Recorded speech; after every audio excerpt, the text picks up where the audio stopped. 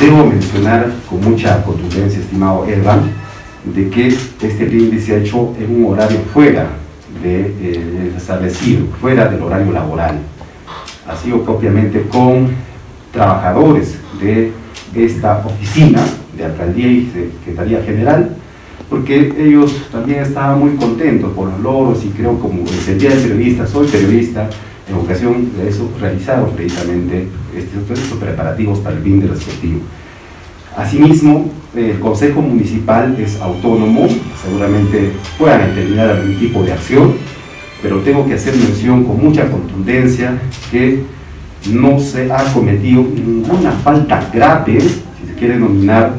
por haber realizado este brindis, que reconozco esta acción, que tal vez no haya sido la más apropiada, pero no es que se haya cometido alguna falta grave en ese ámbito, lo establece perfectamente nuestro RIC, y entiendo que los regidores seguramente en la próxima sesión de consejo también van a pedir algunas explicaciones y las daré, porque aquí hay una cuestión bastante simple. Si las personas, las autoridades más aún, somos también seres humanos. Yo seguramente en ese contexto de felicidad, reitero, acepté el brindis con toda naturalidad y es por esa acción que obviamente se generó una serie de situaciones de comentarios y demás, a veces hasta un poco agraviantes, pero por ello asumo esa responsabilidad. Alcalde. Daniel misma y luego. Sí, alcalde, eh, al mencionar usted que no esto no es una falta grave, eh, mientras la población de Chilca, población en extrema pobreza, en pleno estado de emergencia, porque estamos en estado de emergencia, se cuida, intenta no quizá eh, tener contacto. En una oficina de una institución pública, usted realiza este tipo de celebraciones que bien pudo hacerla en su domicilio, bien pudo hacerla en cualquier otro lugar.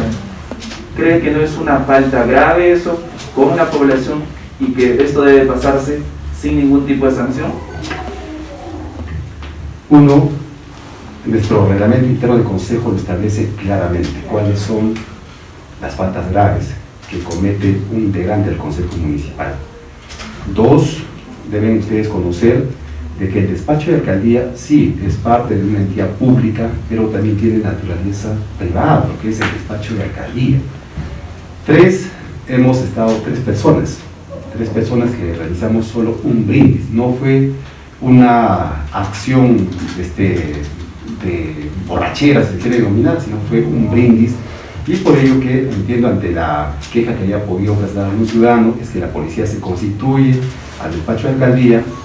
y obviamente nos ha pedido que, la, acompañemos a la dependencia policial para que nos haga la identificación y han determinado que sí son trabajadores de entidad. Y por ello que de alguna forma también esto tiene que quedar muy bien claro, entendiendo de que ahora no es que está prohibido los límites, ojo con eso, ¿no es cierto? Pero sí, nosotros, reitero, tenemos que ser bastante también perspicaces en la actuación pública que desarrollamos. Bueno, yo no podría ser quien para determinar la acción, yo siempre, más por el contrario, he sido bastante respetuoso del trabajo de nuestra Policía Nacional del Perú, eh, creo en un aspecto también muy importante, es de que ellos saben perfectamente cómo se actúa en ese tipo de circunstancias, y han podido determinar efectivamente que se ha hecho un brindis. Ojo con esto, no es que